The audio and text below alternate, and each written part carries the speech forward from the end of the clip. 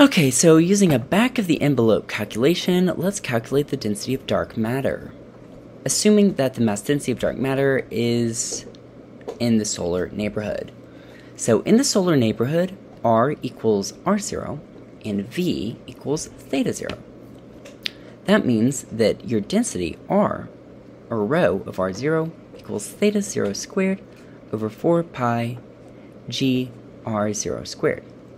Plug in your numbers, and you get 9.5 times 10 to the negative 22 kilogram per meter cubed.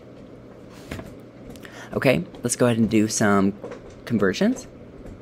Kilogram per meter cubed, when I convert that into a mass of the sun, I get 0.014 times the mass of the sun, PC negative 3, parsecs to the negative third. And that also equals 1.6 times 10 to the negative 18th, mass of the sun, AU negative 3. Now, how does your answer compare with the stellar mass density in the solar neighborhood? Well, the stellar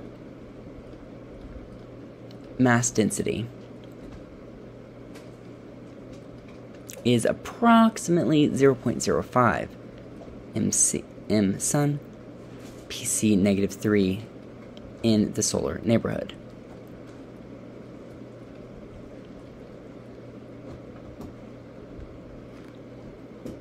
So, we're looking at something a little bit less.